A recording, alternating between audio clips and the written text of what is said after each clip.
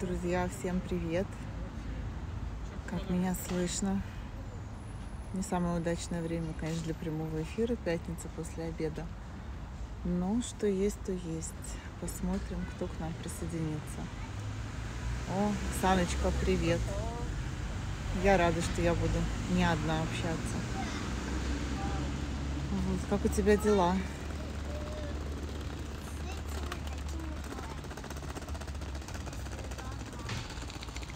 Сейчас посмотрю, кто присоединяется. Оксан, ты знаешь, да, что можешь писать в комментариях мне, чтобы я тоже видела, если ты что-то хочешь сказать. Вышла тут на аллейку около дома, в беседку, поговорить, воздухом подышать, потому что погода в Москве не радует. Напиши, пожалуйста, мне хорошо слышно, нет? Звук как слышно, громче говорить, потому что я замечаю, что машины ездят, и мне немножко непонятно, хорошо ли меня слышно в итоге.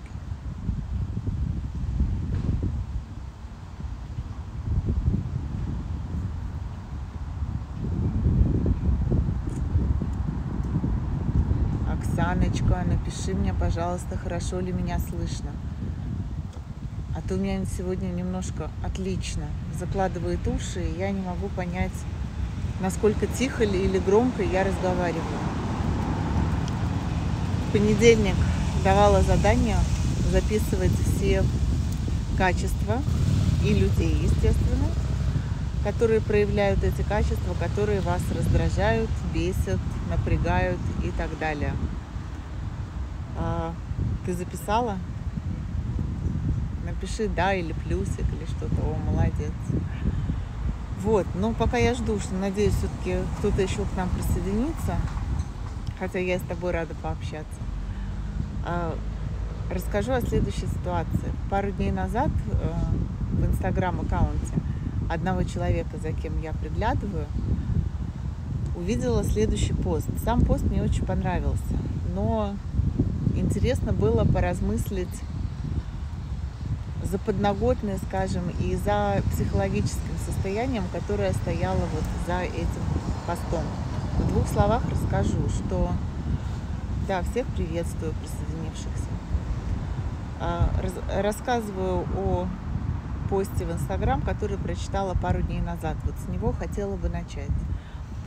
А, тема поста была следующая, что слава богу, что блогеры со всего мира. Ну, я не могу подтвердить или опровергнуть это, потому что я, честно скажу, ни за кем не слежу, кроме двух-трех блогеров, но они очень специфичной тематики, поэтому мне сложно сказать, так это или не так. Вы мне напишите, кстати, в комментариях.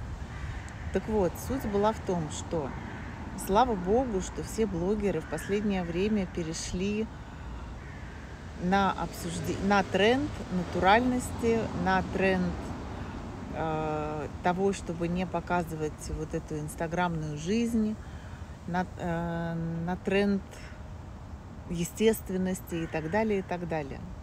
И далее автор поста пишет о том, что э, как это ее заставляет себя чувствовать, что раньше, когда все были такие красивые, нафуфыренные с идеальной жизнью в Инстаграм, человек чувствовал себя ущербным, ну, каким-то не таким и так далее, и так далее. И на самом деле вот этот пост, почему я обратила на него внимание, он очень сильно пересекается, да, приветствую присоединившихся, он очень сильно пересекается вот с тем, о чем, э, со смыслом того задания, которое я вам давала в понедельник когда вот вы выписывали для тех, кто присоединился, если не делал, повторю, когда вы в течение нескольких дней выписывали все качества людей, которые вас бесят. Но надо было делать так, конкретно человек, конкретно качество. Чтобы не было просто, что все мужики козлы, например, да? Люблю приводить этот пример, но тем не менее. Так вот, а, что заставляет я не буду сейчас долго рассуждать, да, потому что это слишком большая тема. И честно скажу, чтобы адекватно о ней поговорить, нужно прям поготовиться. Непосредственно вот на тему, почему блогеры жили раньше так, а сейчас живут по-другому, и какие психологические моменты на это повлияли, я вот не готова рассуждать так, чтобы выглядеть профессионально в этой теме. Вот, но а, я хочу порассуждать на тему того, что движет нами, как их читателями, и почему мы, например, обращаем внимание а, на блогеров, сравниваем себя с ними и так далее, и так далее. В психологии есть два понятия. Вот сегодня я хочу пока поговорить только о них. Первое – это непроработанное внутреннее качество, внутренняя э, сущность, наверное, можно сказать, только в хорошем смысле этого слова. Это называется любовь к себе просто так. Вот когда у человека отсутствует любовь к себе просто так, то тогда он глубоко, и вот вы сейчас слушаете и смотрите, как это отзывается внутри, и есть ли вот какой-то внутренний психологический дефект, э, либо один, либо второй, о котором я сейчас поговорю, у вас, ну, внутри вас. Потому что если есть на самом деле, то самое сложное – это понять и признаться себе, что он есть. Дальше есть определенные, скажем так, упражнения психологические, которые вы выполняете, отрабатываете этот момент, и он ну, уже прошедший этап и больше не возвращается никогда в вашу жизнь. Вот, соответственно, первое – это непроработанный момент любви к себе просто так.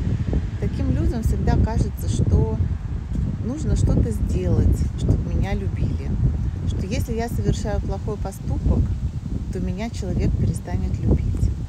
Что я должен что-то сделать, чтобы заслужить любовь партнера, того, кто мне нравится, а, родителей, начальника и так далее, и так далее что я должна быть хорошей матерью, чтобы заслужить любовь своего ребенка. Ну, и много-много таких примеров. Вот если есть что-то такое, если вы действительно головой внутри себя понимаете, а сердцем, скажем так, не чувствуете, что любовь, она не зависит от поведения, а, не зависит вообще ни от каких критериев, кроме как от того, что любовь либо она есть, либо ее нет – то значит, что у вас не отработано вот понятие любви к себе просто так. А следующий момент. Это как раз-таки вот мы возвращаемся, скорее всего, не отработано того человека, кто написал пост. А, это, сейчас а, скажу, Ой, забыла словосочетание. Так, так, как же?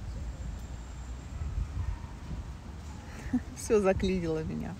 Можете меня поздравить, друзья. Кстати, я нахожусь в интересном положении. И с удивлением и с интересом наблюдаю о том, как меняется скорость работы моего мозга. И она теперь, к сожалению, не всегда зависит только от меня, от моих усилий, от того, выспалась я или нет, но еще зависит от разгула гормонов в моем теле. Так что прошу прощения, но вот я забыла словосочетание, сейчас подумаю, как я могу из этого выкрутиться. Боже ж мой. Так, ну да ладно. Придется, видимо, мне в комментариях к прямому эфиру в текстовом варианте а, написать и объяснить про второй момент – который я хочу сказать, потому что я просто... Это удивительно простое словосочетание, но я не могу его вспомнить, и, видимо, надо двигаться дальше.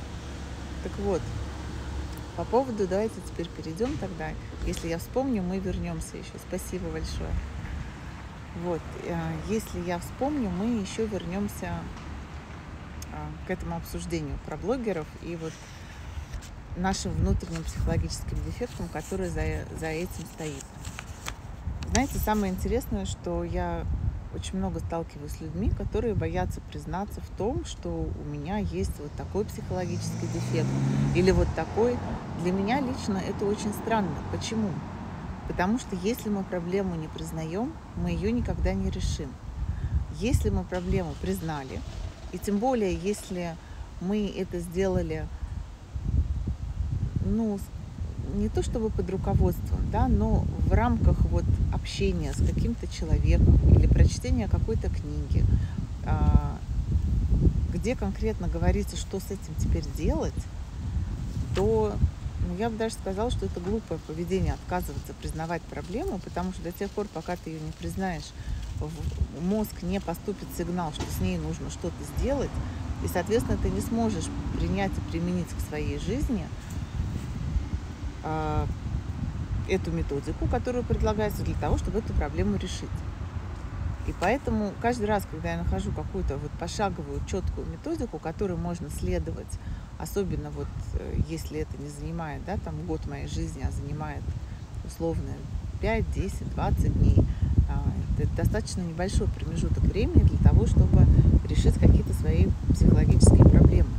Я всегда, наоборот, стараюсь покопаться внутри себя и найти эти проблемы, э, которым я могу применить эту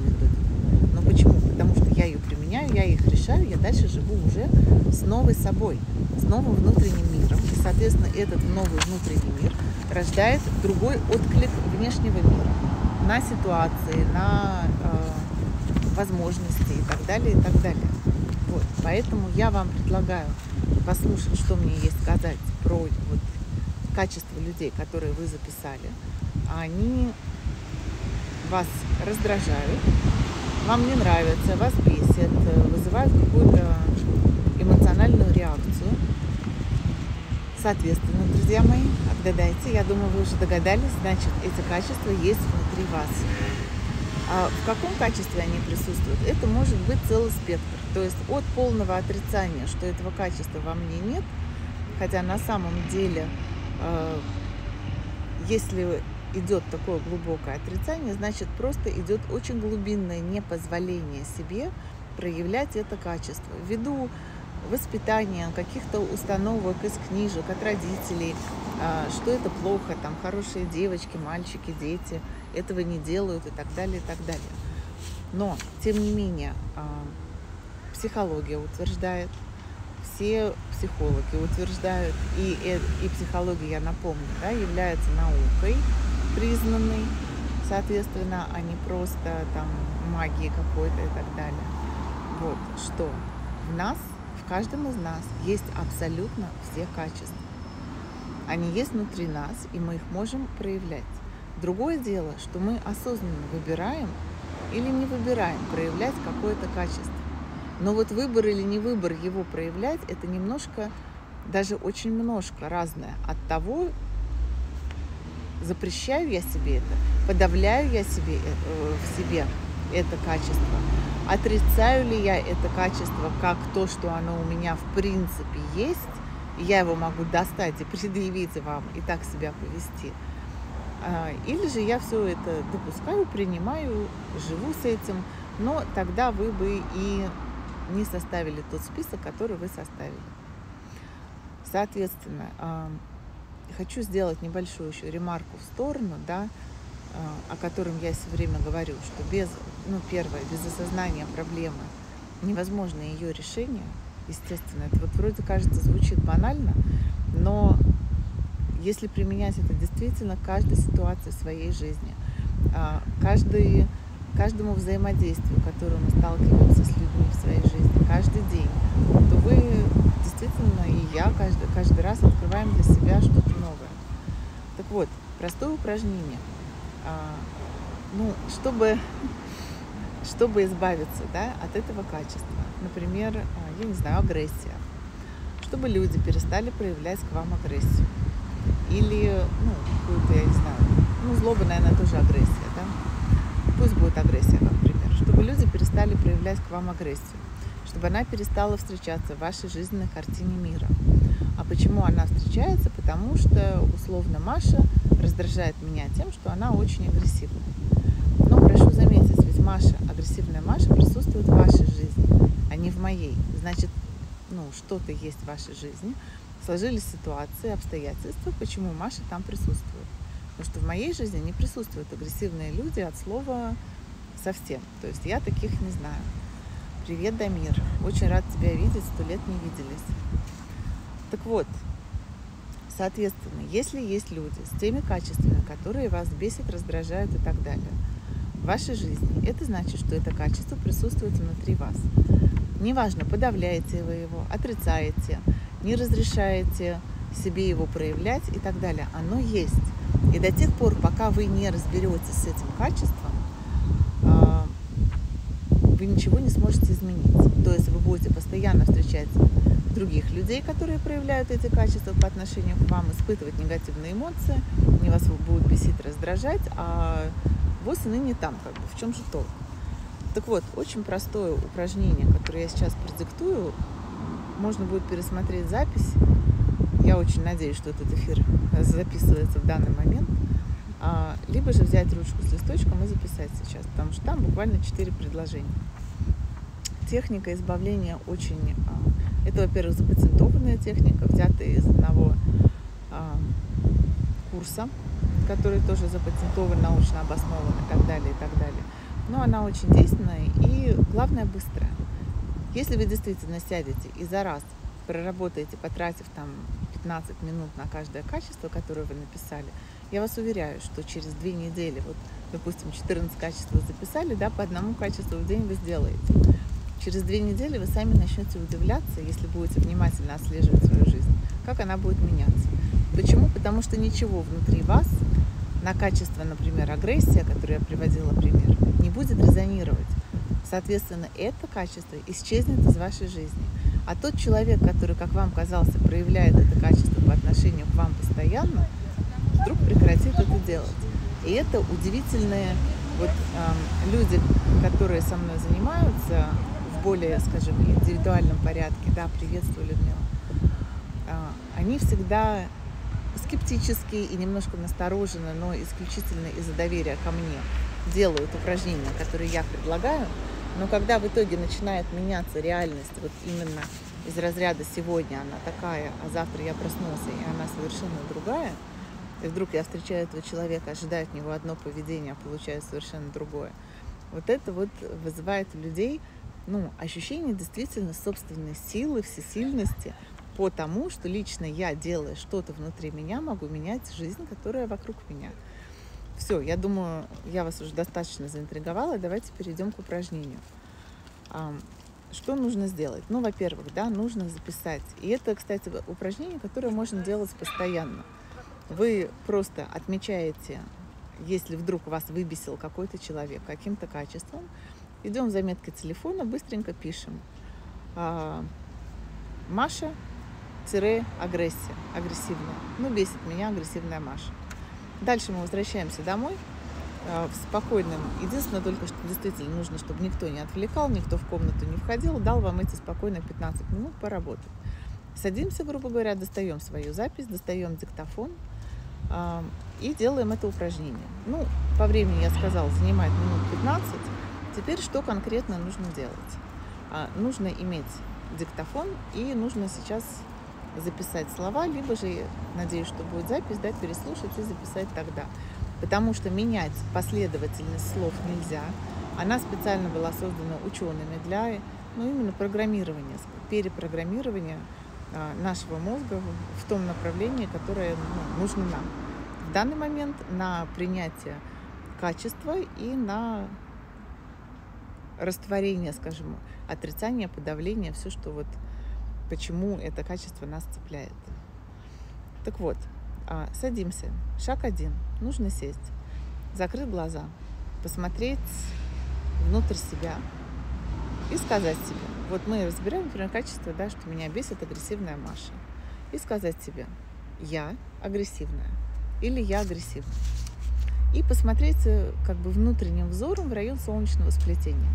Посмотрите, что вы увидите. На самом деле раз, разнообразие очень велико. То есть это может быть от каких-то просто физических ощущений до, а, например, стягивания живота, а, напряжения в мышцах, там, чувство тошноты, общее просто неприятное какое-то ощущение, до реально каких-то картинок, которые вы видите, как там какая-то Маша с перекошенным лицом на кого-то бросается или на вас, или, в общем, все, что вы чувствуете, неважно, только на уровне ощущений, или к вам приходит, если вы более визуальный человек, да, какие-то картинки, все просто зафиксировали. Нам не важно, нам не нужно анализировать, что мы видим, и самое интересное, что это совершенно не важно. Все, что нам нужно сделать, это зафиксировать, что было в начале, и сравнить это с тем, что будет в конце. И если это изменилось, значит у нас это сигнал нашего подсознания о том, что проработка прошла успешно. Соответственно, посмотрели. Вот, допустим, у меня Маша, которая э, с перекошенным лицом, которая бросается значит, там на кого-то. Вот все, мой образ номер один, точка А, отправная точка, есть. Соответственно, вот тут пришел парень. Дальше. Мы берем диктофон и начинаем громко, с выражением, наговаривать следующие слова. Обратите внимание, я сейчас буду наговаривать, и обратите внимание, а, на какие слова я делаю упор интонации. Потому что, чтобы у нас трансформировалось что-то внутри нашей психики, нам нужны эмоции. Ну, во-первых, повторение, во-вторых, эмоции, чтобы мы впитали это. Соответственно, начинаем наговаривать на диктофон, а диктофон, благо, есть в любом телефоне, да, следующие слова. Можно, мне было не принимать это качество и далее по списку агрессивное в себе – можно мне было отвергать его. Пауза. Оставляем паузу на записи, потому что в эту паузу вы будете повторять за своим голосом в диктофоне уже реальным своим голосом. Дальше. Но оно есть во мне. Пауза. Дальше. Можно мне было видеть его таким. Пауза. Но это было только мое представление об этом качестве, агрессивное во мне. Пауза. Ну, слово пауза, естественно, вы не говорите, когда вы надиктовываете это на диктофон. Можно мне было иметь такое представление, но оно было только мое. Вот эти вот сколько там, шесть предложений – вы записываете с интонацией, с паузами, как я сказала. Напишите, если вы хотите, чтобы я повторила, если кто-то записывает на листочек в данный момент. Если нет, то я просто оставлю это на записи. Соответственно, вы проговорили, наговорили это на диктофон. И дальше мы закрываем глаза, сидим с прямой спиной и включаем на повторение эту запись. В среднем занимает минимум 10 раз, по средненькому 20 раз это все сказать. Ну, если очень сильно и глубоко вы что-то там отрицаете, это качество, значит, э, больше 20 раз. Ну, больше 40 мало кто повторяет, честно скажу, вот просто из опыта. Соответственно, что происходит? Дальше вы включаете диктофон, и на диктофоне вы слышите первое предложение. Можно мне было не принимать это качество агрессивное во мне. Можно мне было отвергать его. Далее следует пауза, и в эту паузу вы повторяете. Что важно? Важно ни о чем другом не думать. Важно э, сидеть с закрытыми глазами, с прямой спиной, концентрироваться где-то вот в районе своего живота и просто повторять и наблюдать. Где-то первые 10 раз э, сопротивление, сопротивление бывает у всех. Но сопротивление может выражаться от э, того, что постоянно налетают просто другие какие-то мысли. И их нужно усилием воли, потому что мы же не животные, да, мы э, личности с силой воли и так далее, с собственным выбором жизни. Соответственно, их нужно силой воли прогонять. А, либо же это могут быть какие-то ощущения неприятные внутри себя, например, тошнота, э, вплоть до рвотного рефлекса, или что-то свело, что-то так далее. Это нормально мы не обращаем внимания, могут палиться слезы. И просто продолжаем повторять. Главное, с выражением, в паузах, э, смотря внутрь себя. В итоге, когда у вас заканчивается сопротивление, после седьмого, десятого, пятнадцатого раза, иногда даже после двадцатого, э, меняется внутреннее ощущение. Как оно изменится, вы прям сразу сами почувствуете, это невозможно не отследить. И после этого мы повторяем до тех пор, пока мы э, не понимаем, что в этом качестве на самом деле для нас заложена сила. Повторив определенное количество раз, мы можем спросить себя, какая сила есть только в этом качестве, какую силу я до этого не видел или не видела, какая сила есть только в этом качестве для меня. И вдруг мы обнаруживаем, и, кстати сказать, первое, что вам придет на, в голову после того, как вы задали себе этот вопрос, это является правильным ответом, несмотря на то, как бы абсурдно для вас это не казалось, хотя абсурдным это бывает крайне-крайне редко. И если это очень абсурдно, вы можете поделиться со мной в дирекции, там, в личной переписке, и мы разберем. Э, Еще что хотела сказать, что очень часто многие люди думают, что они делают что-то неправильно а, в упражнении, но именно поэтому эта методика является такой запатентованной и э, научно обоснованной. Именно потому, что э, в нашей психике заложена как бы кнопка от дураков. Мы не можем нанести себе вред, мы не можем сделать что-то неправильно, когда мы занимаемся без посторонних людей, а один на один, сам с собой, психологическими проработками. Поэтому делайте это смело, не бойтесь, все получится.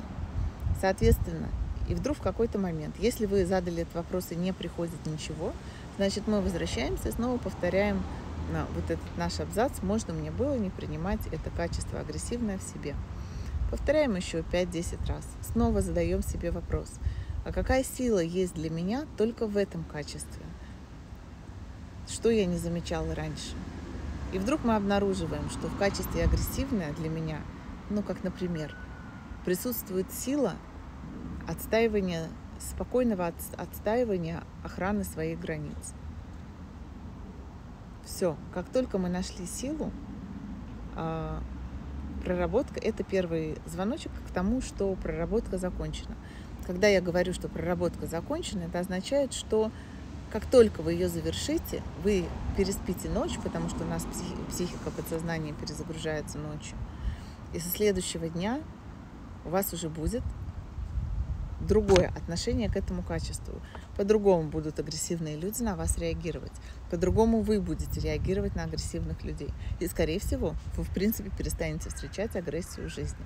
А когда встретите, то вы сами потом, постфактум, убедитесь, как интересно, я никогда раньше в жизни, то есть вы как-то среагируете, пройдет эта ситуация, и потом, вернувшись в нее, вы с удивлением обнаружите, что вы раньше так себя не вели никогда в этих ситуациях. И, естественно, ведя себя по-другому в ситуации, мы получаем другой эффект, другой результат, и отсюда и идут изменения нашей жизни. То есть изменения в жизни, в реальности начинаются именно с изменений внутри. Мы меняем что-то внутри. Это меняет нашу реакцию на э, наружную жизнь, скажем так, на внешнюю жизнь. Мы получаем во внешней жизни новый результат, новые возможности, новые общения, э, как со старыми людьми, так и с новыми. Соответственно, отсюда меняется наша жизнь.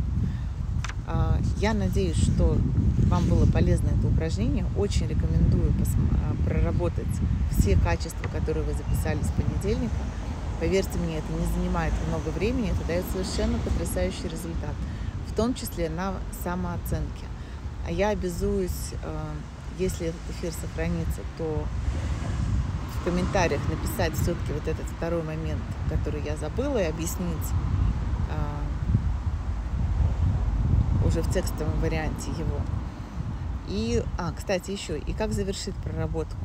Когда вы нашли силу, также вы закрыли глаза, посмотрели вот внутрь себя в район солнечного сплетения и сказали себе снова «Я агрессивная». И посмотрели снова, что произошло с ощущениями, с образом и так далее. Если изменились ощущения, то есть если вначале у вас были ощущения, сейчас они другие, это дополнительный а, сигнал вашего подсознания о том, что проработка прошла успешно. Если у вас была изначально одна картинка, а сейчас другая картинка, при том совершенно не важно, что это за картинки, самое главное, что они просто сменились. Это значит, что изменения в психике вашей произошли успешно. Можете себя поздравить. Самое время отвлечься на что-нибудь вкусненькое или интересное, лечь спать и завтра уже получать результат в новой жизни, потому что изменилось ваше внутреннее самоощущение. На этом, если нет вопросов, то я с вами прощаюсь. Пишите, если есть вопросы. Я пока еще сейчас пару минут подожду, попробую вспомнить. Все, надеюсь, было полезно. Не полезно оно быть не могло, потому что я лично на себе пробовала это упражнение и проработала все качества. И лично на своей жизни я вижу, как это работает и как это дает результат. Вопросов вижу нету. Ну, в любом случае, вы знаете, что вы можете задать вопросы в директе, в комментариях под постом или в комментариях под видео на YouTube-канале. Ну, соответственно, всем удачи, прощаюсь и до новых встреч. Хотела сказать, кстати, что следующий вторник хочу провести другой прямой эфир по теме беременность, вынашивание ребенка, бесплодие и так далее. И продукта, который от компании Global Trend, э, нано-бальзамы и спрей-концентрат Павла Спринг. Поэтому, если кому-то интересно, приходите, следите за э, лентой в Инстаграме, я напишу время когда в следующий вторник, 11 августа, будет этот эфир. Как эти продукты реально решают эти проблемы. Совсем уже другой из области здоровья, не из области, из области психологии. Но в конце концов наша жизнь многогранна и состоит она из очень многих аспектов, которые все мы работаем над тем, чтобы привести в гармонию. Потому что жизнь в гармонии это и есть ну, настоящая жизнь. На этом, друзья, все. Всех обняла. Хорошего дня. Пока.